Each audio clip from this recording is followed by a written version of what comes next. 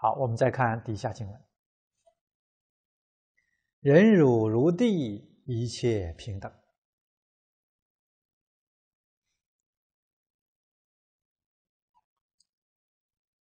前面讲的齐心洁白是修清净心，忍辱呢是修平等心。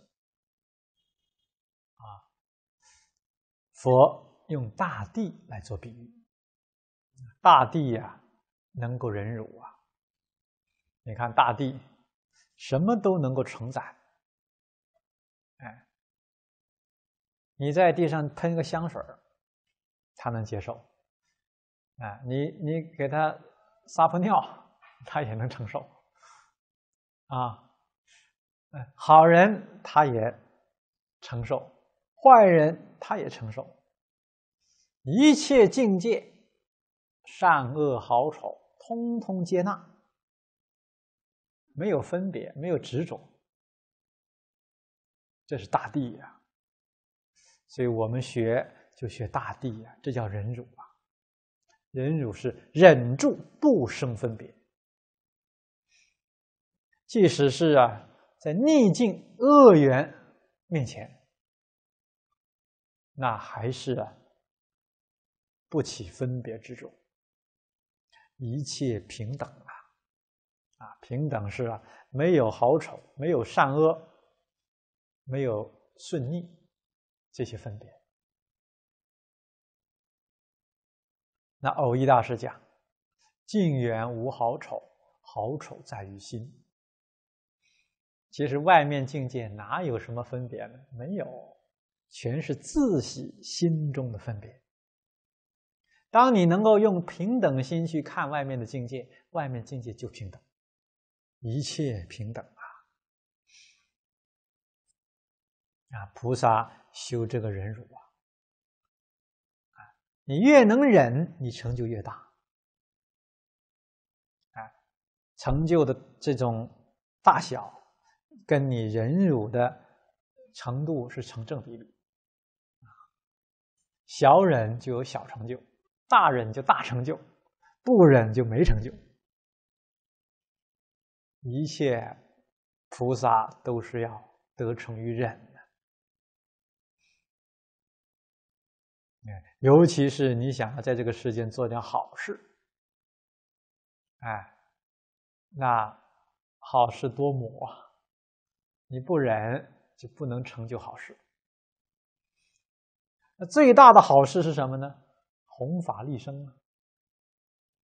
弘法利生要不要忍呢？当然要忍了。越是大好事，你越得忍啊。你做好事，人家都不理解，都误会，诽谤你，哎，嫉妒你，甚至陷害你，那你会不会退心呢？退心你就没没有没有忍了，那那你就成就不了大地的这种厚德了。所以真正能忍。才才真正放下，不能忍的，就是没放下。他放下了，哪有说不能忍的呢？哎，所以我们要修行，最好的修行就是忍辱。一切境界来了，我们都接受，啊，不要分分别。现在很顺，很顺就顺。啊那现在是逆境，逆境也顺，那这心呢就平了。我们再看下面经文：清净如水，洗诸尘垢。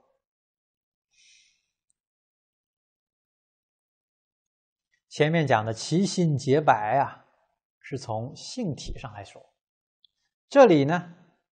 清净如水是讲修德上来说，我们要修清净心，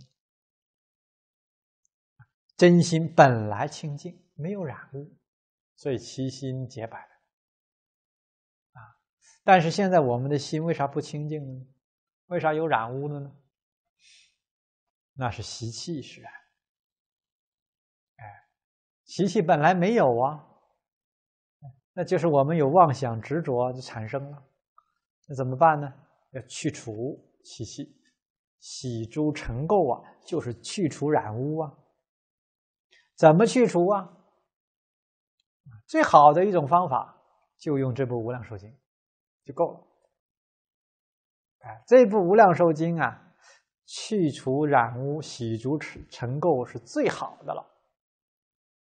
啊，真的，从你现在出发心，一直到成佛道，这一步就够了。啊，不要说一部经啊，一句佛号都够了。大势至菩萨就是靠这样成就的，啊，他就是都摄六根，净念相继，不假方便，自得心开，啊，从凡夫地到成佛，都是靠这个法门的，啊，那一句佛号都够，况且是一部无量寿经呢？哎，所以我们呢。要耐心去学习啊，去深入，自然你的烦恼习气啊，一天比一天减少，哎，智慧呢就一天比一天的增长。那么这个成垢最重要的成垢，最重的成垢啊，就是呢，你看到别人有毛病。你就升起呀，不高兴了，这就是染污啊，啊，那这个习气确实很重，哎，我到现在说要把这个习气去除，还还没有干净，当然，这个现在有一个好处，因为熏习经教久了。啊，这个念头一起来，没就是不会很长时间，啊，大概也就是啊，呃一一两分钟之内，你肯定能觉察。看，那马上就要把这个念头放下，洗呀，这尘垢啊太深了，把它洗掉。一两分钟时间太久了，我感觉到，要怎么样呢？一两秒钟之内。这个功夫算不错，啊，算不算成就呢？也不算成就，啊，要到什么呢？念头刚起，立刻觉察，立刻放下，啊，最后呢，用久了这个功夫，念头不起来了，这才叫成就。你这句佛号啊，提得快，念头刚起，阿弥陀佛，把它压下去，这叫洗尘垢啊。啊，那心心要是一你刚有不清净，你马上就觉察，要练啊，要用忏悔法门，把自己的那个尘垢洗掉。忏悔最刚刚开始是佛前发怒忏悔，啊，或者是在善友。面前发怒忏悔，一天忏悔一两次，啊，最重的先忏掉，啊，到最后呢，不是说呃一天到晚课的时候才忏悔，太晚了，啊，你这个一天下来是吧？那尘垢积累了二十二二十小时了，你再去忏，那太厚了，哎，要怎么办呢？要先先锻炼，一个小时之内就能觉察出来。我马上就一小时之前干的那个坏事儿啊，做错了事儿啊，讲错了话，或者起了错的念头，马上忏悔掉。这还是初学啊，一小时还是太久，一分钟慢慢缩短时间呢。啊，一分钟之前干的坏事，马上就想到错了。忏悔，真干了啊！然后缩缩短到一秒钟啊，那你就很不错了。因为什么呢？即使海啸来了，那一秒钟还还没到你跟前呢，你这时候能够念提起佛号，你就有把握往生。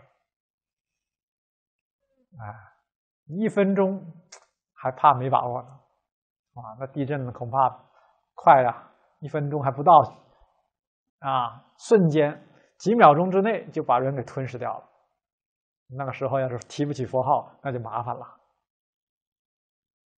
啊，所以要有紧迫感、危机感。啊，孟子说：“生于忧患，死于安乐。”真的是这样。啊，好，我们再看下面经文：“持圣如火，烧烦恼心。”火代表智慧，十圣如火是代表智慧很高，因为能够修清净心，自然就有智慧。啊，清净心作用就是智慧，唯有靠智慧，你才能断烦恼。所以呀，烦恼比喻作财心，心就是财啊。哎，那么智慧是火呀，把那财给烧尽了。这是说明呢，智慧一现前，烦恼无明通通断了。啊，就看你能不能够啊，提起智慧了，啊，转烦恼为智慧。那你转，那烦恼就尽了，没有了。问题是能不能转？比如说，当别人骂你的时候，哎，你要是马上起来，这人怎么骂我呀？我得骂回他，啊，生气了，这什么呢？起烦恼了，哎，那就是凡夫啊，搞六道轮回啊，轮回心造轮回业了。哎，那智慧是什么呢？别人还是骂我，同一个人，同一桩事，哎，他这一骂我，我立刻想到，哎，这是来练我忍辱的，啊，佛教我们呢，哎，要看一切众生都是佛呀，他就是佛视线呢，看看我能不能考考试考过关，哎，我不起烦恼，任他骂，这就是智慧啊！你看，智慧一起来，烦恼是不是就没有了？这叫转烦恼成菩提呀，转的要快！啊，再看下面经文：不着如风，无诸障碍。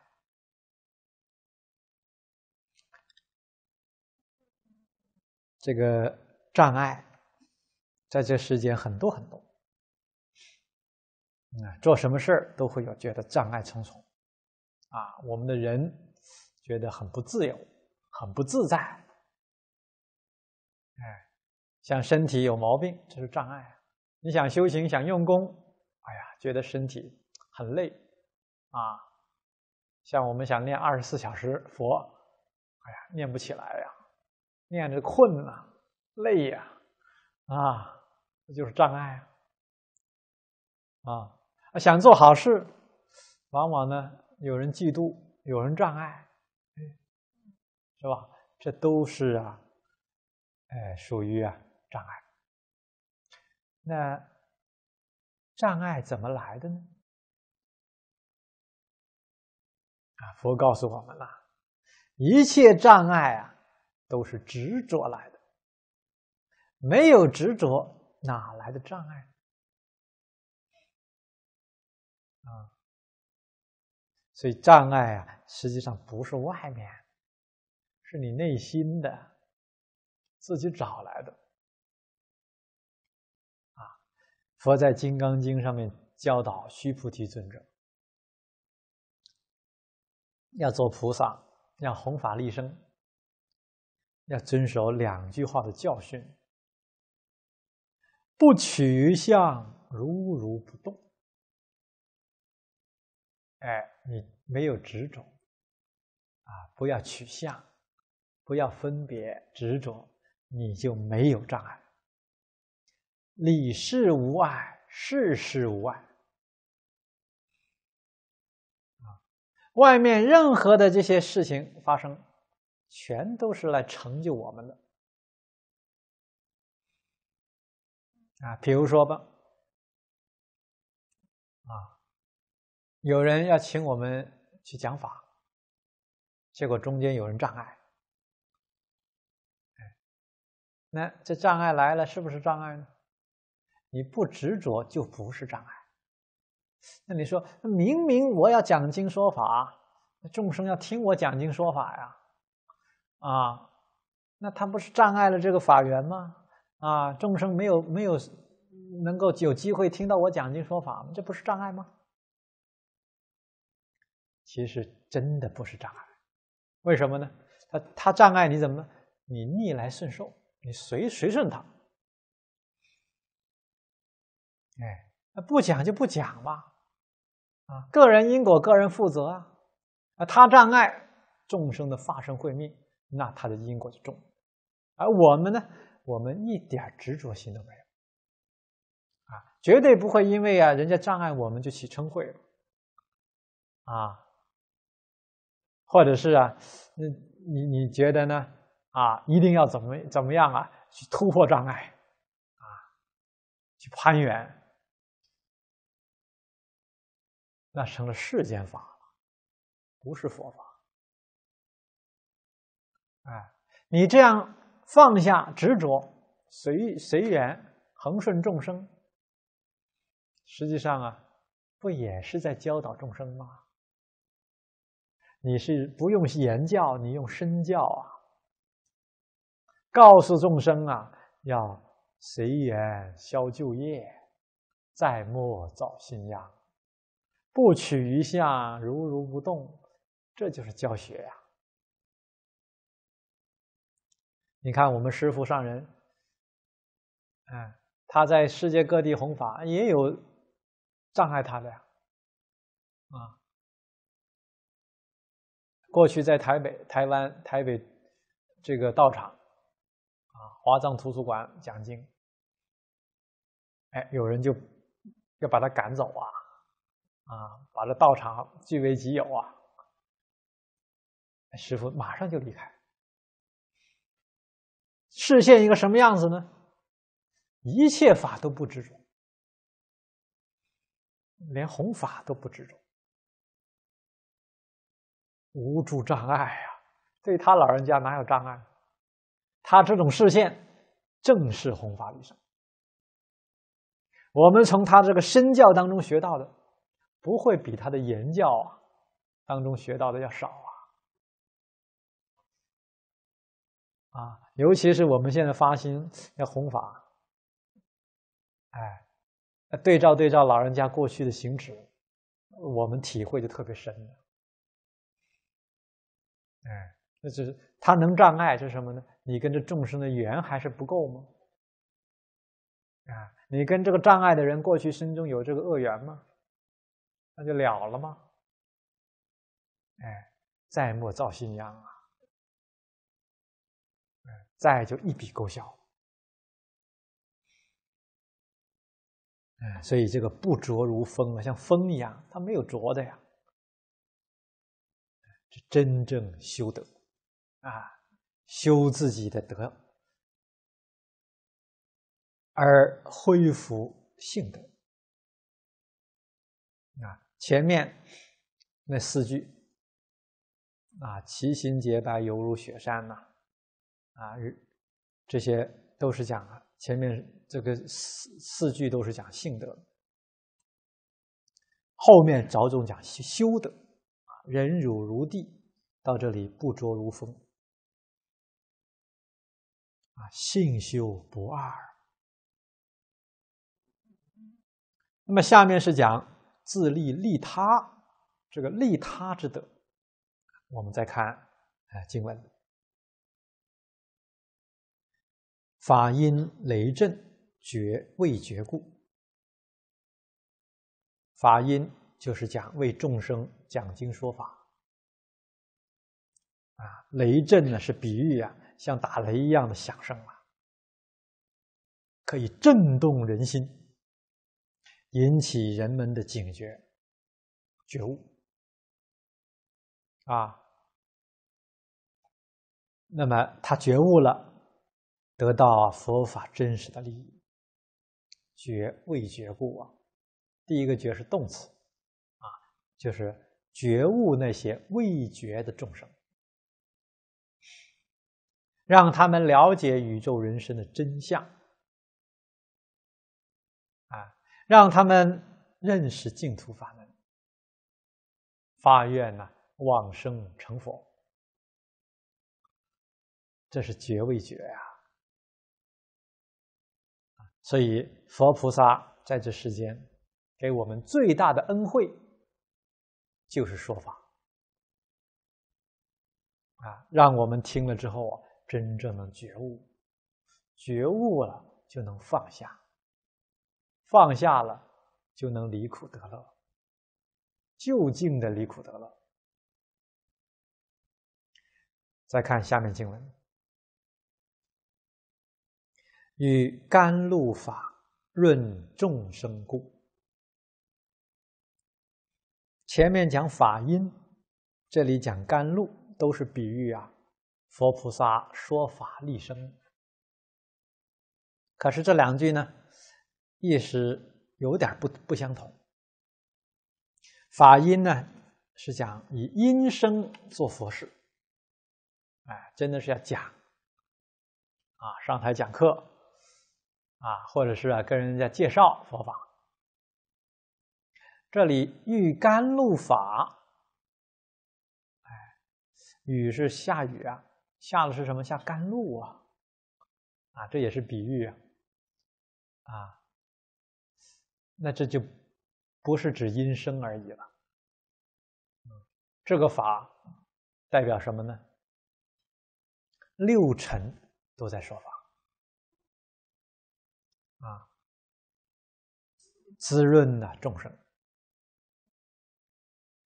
这众生就是我自己呀。哎，我现在六根接触六尘境界，能不能够啊得到法益？嗯，那么佛菩萨他用啊各种形式的教学方法，不光是音声，还有形象。啊，还有这个，哎，这些礼仪啊，等等，嗯，都是啊说法，教导我们呢觉悟。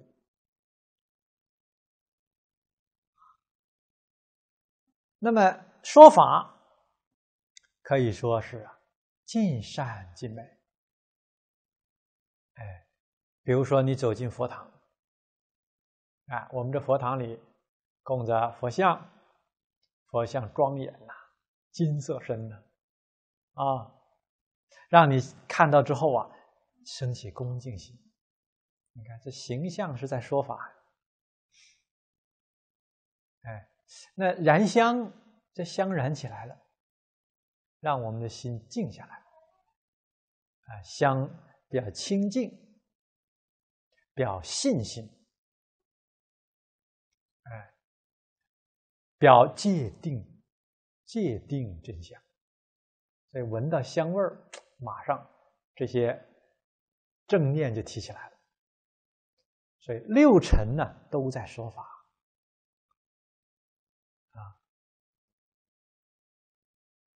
那么这里呀，比喻啊，就像雨露滋润着大地万物啊。这个下雨，天降大雨啊，啊，久旱逢甘露，哎，大树受到滋润，小草也是受到滋润，平等。当然，大树和小草，哎，得到的滋润呢，他们得到的不平等，为什么呢？大树吸的水量大呀，小草吸的水量少啊。那它吸的水量多少，跟天降雨无关。哎，不会天说，哎，这大树啊这么大，要的水多吧？我给你多下点啊，小草不要那么多水，少下点吧。天没有这样的分别，哎，都是呢，各各个这个万物啊，它有不同的根性，哎，不同的容量，哎，它吸收就不一样。所以佛菩萨讲经说法，他无分别，平等的遍洒甘露。啊，那听的人有的呢得的利益大，有的得的利益少。那这个利益的多少，在谁的问题上呢？在自己呀。那我怎么能得到大利益呢？印光大师说的好：“一分成净得一分利益，十分诚敬得十分利益。”同样一个人在说法的时候，我们在底下听，想要得到圆满的利益，你要怎么存心？你把那个台上讲讲法的人当做释迦牟尼佛，当做阿弥陀佛，你就得到佛的利益，那是圆满。你能开悟啊，你能正果呀。啊，如果你把他看作普通人，哎，行了吧？他讲不怎么样，嗯，我上台讲了，还可能比他好呢。哎，这种心，那你真的只能得到一个凡夫给你说法的利益啊，或者甚至啊一无所得呀。啊，有的人听法是怎么听啊？留心听听这个人讲的到底哪儿有错啊？看看他逻辑上合不合理，哎，不合理的要批判他一下。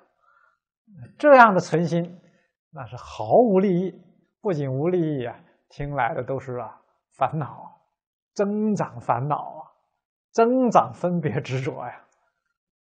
你看，就看你自己存心了。过去佛，呃，这个。啊，印度啊，古印度的时代，哎，有一个优婆夷啊，就是在家女居士，供佛、供僧非常虔诚。附近有一个寺院，哎，他呢每天请一位寺院的出家人来应供，哎，那么请出家人来呢，都是毕恭毕敬、毕敬啊，啊，五体投地向他顶礼。然后供养食物，然后呢，向他请法，哎，非常虔诚。结果有一天呢，轮到一位啊老和尚，嗯，这个和尚虽然年纪老，但是刚刚刚出家的，啊，他学佛也没怎么学，啊，年纪大了学不了，啊，是佛法不太懂，啊，结果呢很害怕，不敢去他家应供。怕那个被居士啊问到了答不出来，哎呀，所以就不敢去。但是因为寺院里都在轮流去，轮到他就得去，他没办法，只好硬着头皮去。这个去了之后呢，因为他自己啊心里没底儿啊，走路啊走的特别慢啊，结果呢走到那居士家，居士在门口远迎啊，看到这位老老人家走路啊非常缓慢，哎，这个。仪态端庄，哇，油然而生敬意，觉得这今天来的这位老人家一定是非凡的啊，得道高僧啊，所以呢，恭恭敬敬把他请到这家里，啊，向他五体投地啊，比往日对其他出家人更为的尊重啊，那个恭敬心更强了，给他上饮食。啊，然后他已经吃完了，然后呢，向他顶礼呀，求法，啊，请他讲经说法。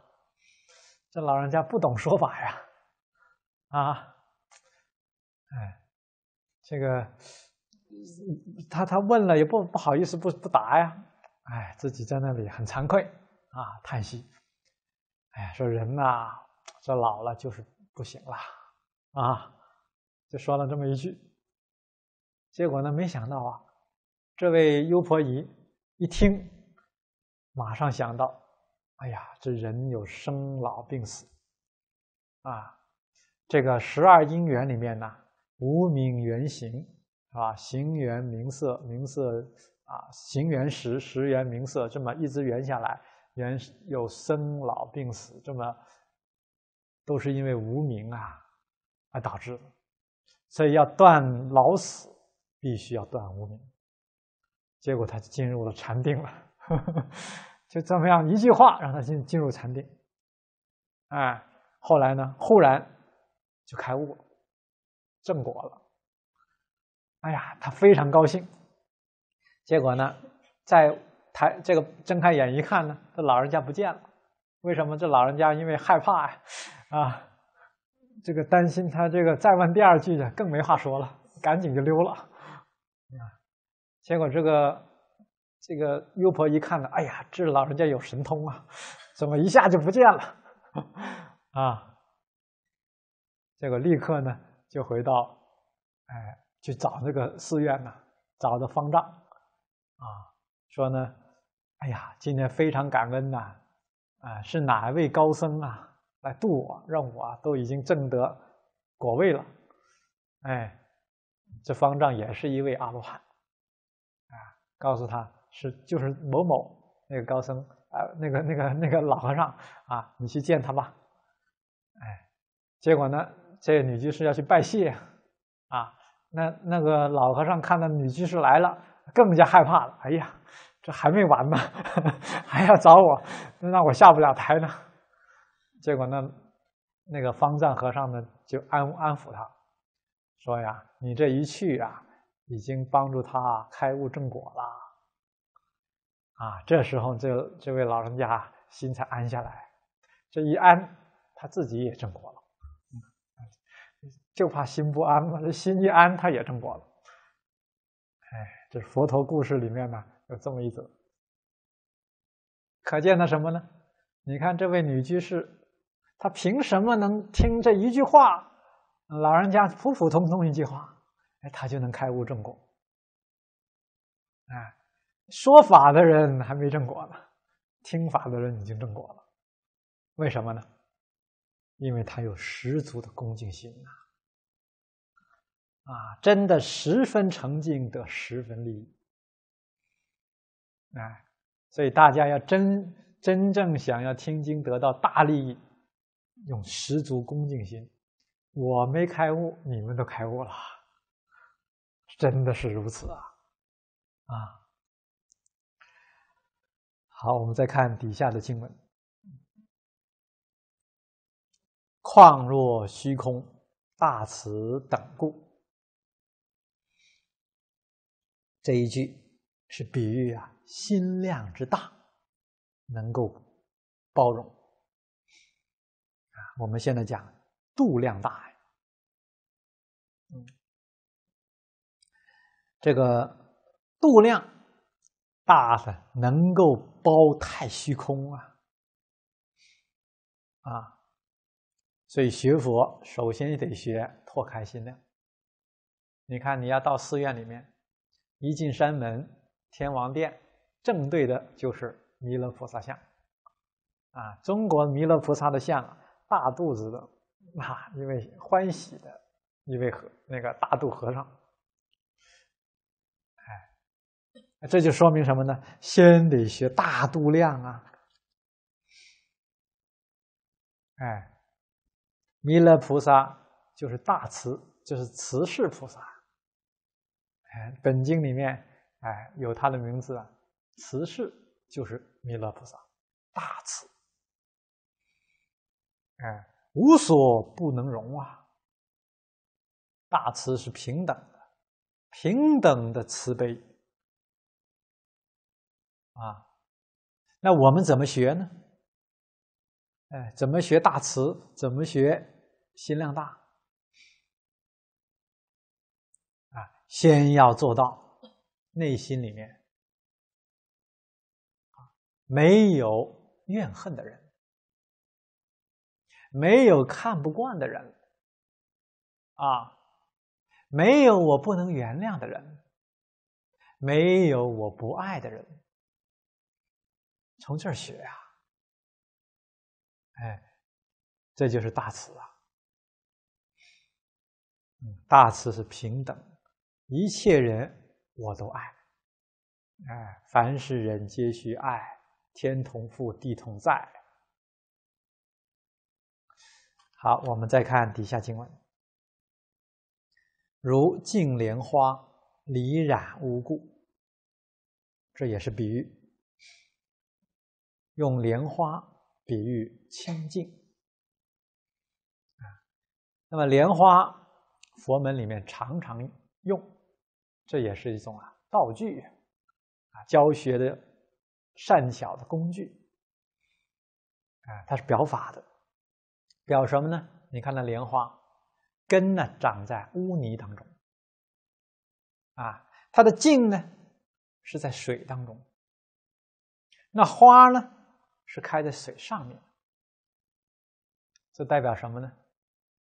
哎，六道是污泥，哎，这个出了六道了，上面的水呢，表的是四圣法界，水是清净。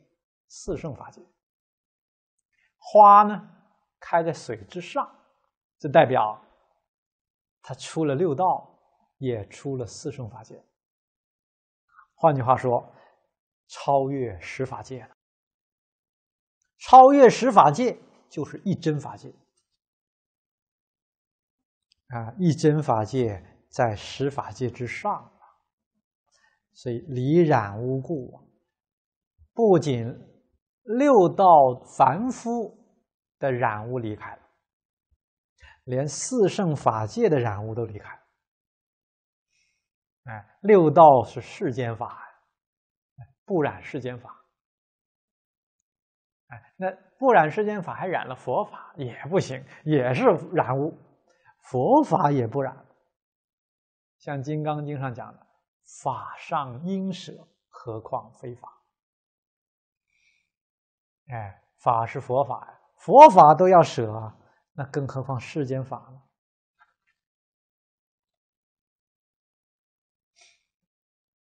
哎，这是代表啊，哎，莲花出污泥而不染。那这个要舍离染污，最关键的，就是你要放下。妄想分别执着，这才能舍离呀！啊，所以菩萨帮助众生是无尽的慈悲啊！但是呢，帮助众生的时候啊，他没有啊，哎，着众生的相，这一着就是染污了。比如说，佛菩萨讲经说法，没有想着我能说，啊，没有想众生能听，啊，或者是想到这个所说的是什么法，哎，他是没有我的相，没有众生的相，也没有中间法的那个相，三轮体空，离一切染污了。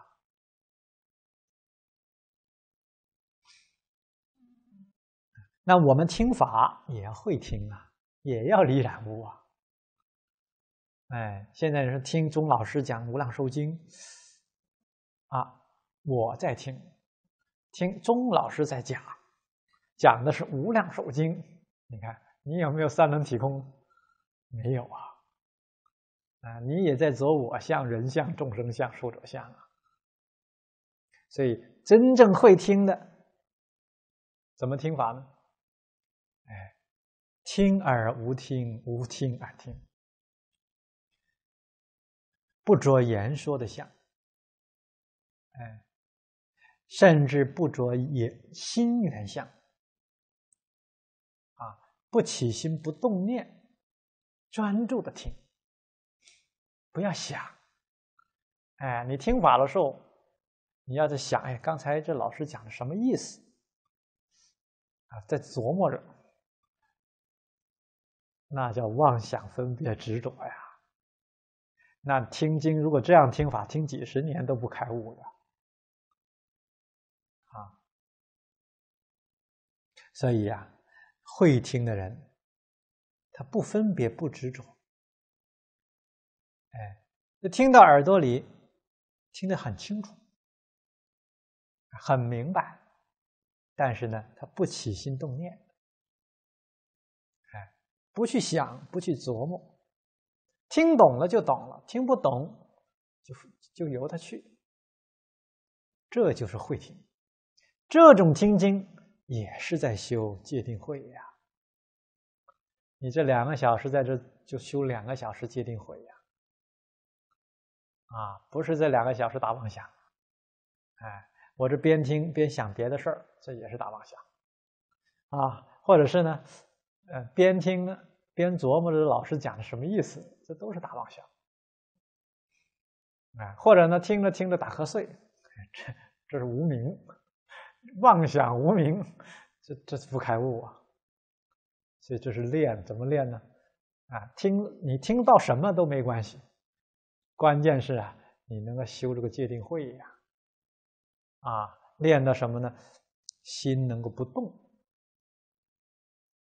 不为法相而动，啊，这叫会听。那得到的利益啊，是无比的殊胜。好，我们再看底下一句经文：如泥居树，复因大故。这个尼居树在印度啊，是一种热带的树，树很高很大，那树叶也是很大。在树底下呢，很阴凉，哎，印度很热嘛，哎，大家都很喜欢阴凉，所以都会在树下。所以尼居树呢，也就是代表佛说法，给众生带来清凉。哎，这是佛大慈大悲呀，所以复因一切众生，啊，这是讲讲经说法。孔子讲有教无类呀，啊，什么人他听法都能得到利益。啊，在佛门里面的这个讲经说法，跟一般学校里不一样。啊，我过去是在大学里教书的。哎，大学里教书嘛，学生的素质比较整齐啊，那都是呢。你看我在大学通常是教研究生班，那都是经过本科，本科呢也是读那个啊金融专业，上了研究生也是读这个专业啊，大家这个相差不会很远啊，你教起来呢，当然就很简单，很容易教。但是讲佛法不一样，讲佛法这个课室里头是大讲堂，啊，什么人都有，男女老少，各行各业，哎，那程度参差不齐，有出来学佛的，啊，有听有已经学了几十年的，你怎么能够啊？像这里讲的福音大，让各个人听了都觉得有利益。这是很不容易的一件事情啊！啊，那如何能做到呢？过去李炳南老老居士教我们师父上人，至诚感通。哎，你不是说你很会讲，哎，你讲的啊这些。道理哈，让每个人呢啊听了都啊觉得很受用，不是你自己的能力呀，自己没开悟，没正果，哪来的能力啊？甚至我们现在关机的能力都没有啊，那你怎么能讲出来让众生都得利益呢？唯有靠至诚心，感通三宝加持。靠三宝威神加持，让这听众听懂啊！哎，让这个法能够啊入到他的心里呀，让他能觉悟。所以我们上上课之前都在这个佛前三顶礼，哎，就是求三宝加持，哎，龙天护佑，让众生能够开悟。哎，你这一讲，自己没开悟，他开悟。你就祈求佛力加持吧。啊，登座之前，我们要理狮子座啊，因为这个座法座不是一般人能登的呀。啊，我们登上来不是自己有什么德行，有什么智慧，坐在这真叫德不配位呀。啊，只是什么呢？还有一点不忍众生苦，不忍圣教衰的慈悲心，代佛说法了。佛法不讲，没人讲不行啊！哎，我们要去讲，但是我们又没有能力讲，没有这个智慧讲，只好靠三宝加持。所以弘法立生也是二利法门呐。哎，靠自立更靠佛力。自立啊，就是这么一种至诚心。啊，我真想帮助众生觉悟。自己呢没有名闻利养的心，啊，没有傲慢心。哎，不能说我我讲的好啊，你看大家都是我度的，这是傲慢呐。啊，别人的恭敬供养，哎，你就起了。这种贪着，名闻利养没放下，至诚心没有，至诚心没有了，就没办法感得三宝加持。那你讲法，众生得不到什么利益。哎，那他可能听一座，第二天不来了，哎，这是他没利益嘛？何必在这浪费时间呢？所以呀。最重要是至诚感通。好，在下面我们看第十四句比喻：如金刚杵破邪指故。前一句呀，复因大故，比喻慈悲无缘大慈，同体大悲。这一句呢，金刚杵。比喻智慧啊，金刚往往啊用来比喻般若，金刚般若啊，因为呀，在古时候，金刚是金属里面最坚硬的，它能够破一切物啊。那么，所以金刚钻最坚硬，能够啊。破除一切的坚硬物啊，所以金刚杵，用金刚做的杵更不得了啊，可以破最坚硬的东西。这比喻啊，用金刚智慧破除一切邪见执着。邪执啊，也是很坚固的呀。我自己是很感叹，过去学佛不深，还没有这样的深刻的认识。现在学了将近二十年了，啊，真是虚度二十年。这个妄想执着一分都没断，啊，真是坚固啊。那这个执着最最初最基础的一分，就是见思烦恼里面的见惑，第一个身见，身见的断不了，那其他的别谈了，啊，还执着这个身体，啊，所以自己就感觉到。真的难断在学习、在用功的时候，苦了、累了，就想睡觉啊！那精精力就不够啊，就容易懈怠下来了。哎，这什么呢？身见啊，太执着，太深。所以想想这一生，说要断尽见思烦恼出三界，靠自己的力量，确实难，难于登天。那唯有老实念佛，求生净土去。啊，希望是什么呢？在临终的时候啊，用自己至诚心感得阿弥陀佛来接引。凭什么来感呢？真信了，真愿意去。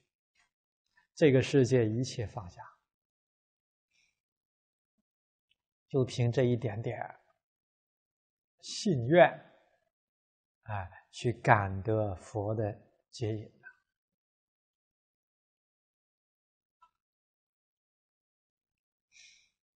我们再看第十五句比喻啊，最后一句的比喻：如铁围山，众魔外道。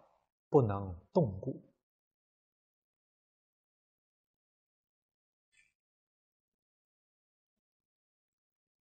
这铁围山是指非常坚固的啊大山，这是比喻什么呢？不可动摇啊，众魔外道啊都不能够动摇。那什么是众魔外道呢？啊，第一个讲魔，什么是魔？在八大人解经里面，把魔分了四类。啊，这个魔啊，其实就是折磨那个魔，让我们的身心都不得自在，啊，都是折磨呀。啊，第一个就是五阴魔呀。五阴就是我们的身心，啊，五阴是色、受、想、行、识。色是色身，啊，肉体，肉体啊，常常折磨呢。哎，困了想睡觉，饿了想吃饭，不吃饭很痛苦。啊，有病了那也很痛苦。那受、想、行、识呢？这是讲心心理啊，各种的煎熬啊，各种的那些烦恼，这都是啊折磨呀，啊身心的折磨，这是第一种啊。第二种魔呢，烦恼魔，哎，烦恼很多很多，哎，那佛把无量无边的烦恼啊做归纳。归纳成二十六类，啊，六种根本烦恼，二十种随烦恼。那再归纳呢？这是归可以归纳成啊，三种根本烦恼，就是贪嗔痴啊。哎，那再归纳呢，就是贪，贪是最重、最根本的一个烦恼。所有烦恼都从这生，啊，这就是魔呀！啊，你要远离磨难，得要把贪念呐彻底清除，这才能够脱离魔爪呀！啊，第三是死魔，生死都是很大的折磨，很苦。啊，人一死了，投胎了。即使你再来生做人，可是你的学的佛全忘了。哎，你要是没遇到佛法，那又是颠倒造业。即使你要遇到佛法，你要学，你也得二十岁吧？哎，我就是十九岁虚岁二十岁才接触佛法，那也虚度二十年光阴呐！啊，全生我们知道，肯定我们都学过的呀，没学过接触佛法不会生欢喜心的呀。啊，但是你至少虚度二十年光阴。啊，今年三十九了，明年四十了，啊，学了佛之后。又二十年，感觉到还是虚度啊！估计前生学的会比这生还好啊！这生实际上都是退转了啊！所以死魔啊，真是麻烦了啊！更何况死的时候，佛讲犹如生龟脱壳，极为痛苦。哎，所以这真的是大折磨。那么这前面的三种，你看五阴魔、烦恼魔、死魔，都是讲自己本身，不是外面的魔就在你自己啊！你看麻不麻烦了？没跟魔离开过呀！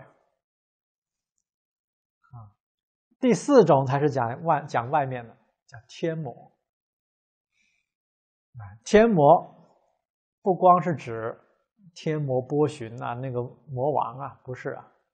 啊，魔王固然是啊，天魔了，还关键是指我们周围的环境，环境的诱惑，那就是魔呀，魔境界呀，啊，声色犬马、五欲六尘都在诱惑你啊，你能不能够不动心？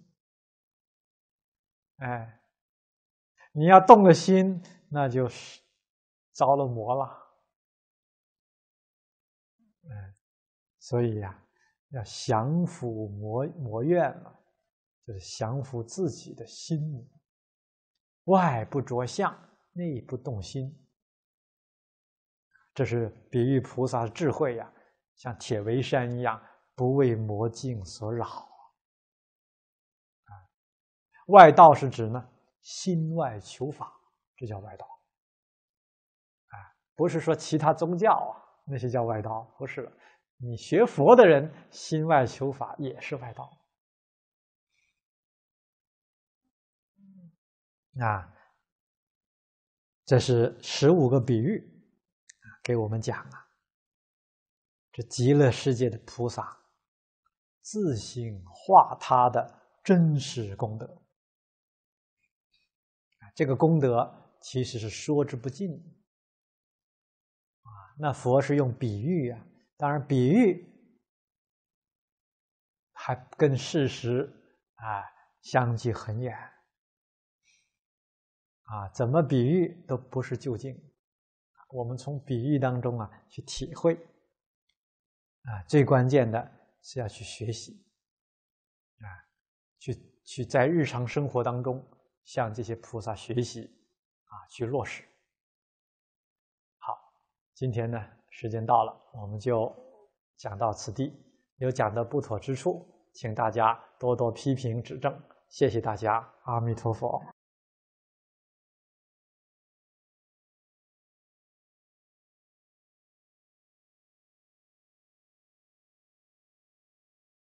我们来一起呢，哎，合掌，恭念呢回向偈。愿以此功德庄严佛净土，上报四重恩，下济三途苦。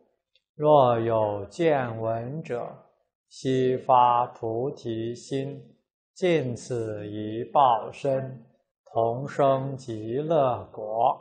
阿弥陀佛。